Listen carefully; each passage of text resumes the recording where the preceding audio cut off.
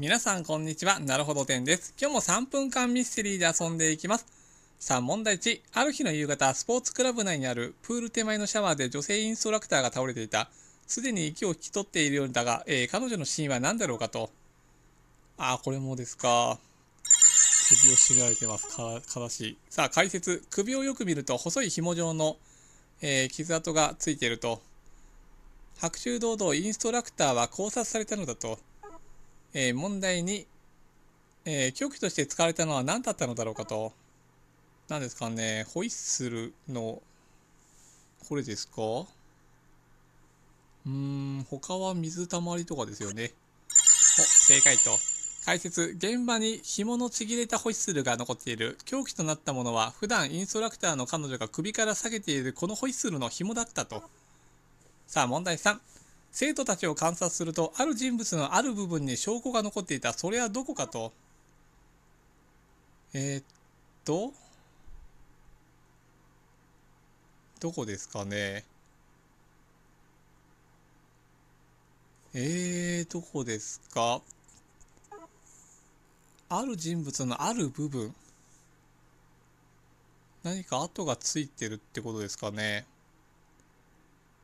帽子は落ちてますけど、A の方が同じ水着ですけど、お、正解。解説、A の男の手をよく見ると、手のひらに細い線状の赤い跡がついていると、えー被害者の首を絞めた際に紐が食い込んだのだと。まあ、確かに言われてよく見たらついてましたね。えー問題4、被害者に交際を迫り、断り続けていたことが A が犯行に及んだ動機だった。被害者が A の誘いを断っていたのはなぜかと。えー、ということは、えー C の方が彼氏さんってことですかね。違う。うーん、ということは、何か結婚指輪かなんかされて、あ、されてますね、普通に。わ、最初に見ておけばよかったですね。正解と。解説 A はいつもレッスンよりも早い時間に、えーやってきては被害者に関係を迫っていたが被害者は堅くなに拒否していた。その理由は左で、えー薬指の指輪から分かる通り、えー彼女が既婚者だからだが A はそうは考えなかった。A はこの日誘いに応じない彼女を衝動的に殺してしまった。